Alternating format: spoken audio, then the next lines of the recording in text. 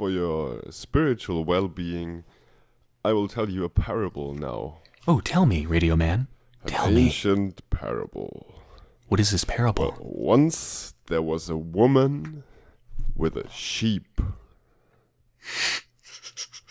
And thence came a man with a bulldozer.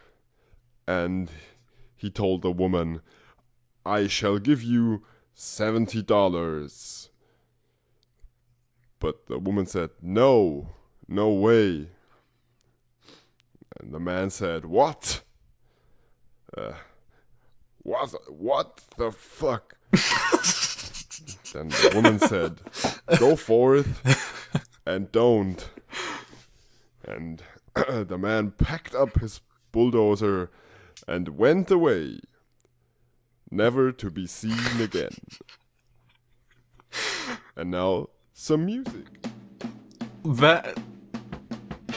This guy is the best radio personality ever. Oh my god, he's amazing. I love him. An ancient parable for the ages, truly.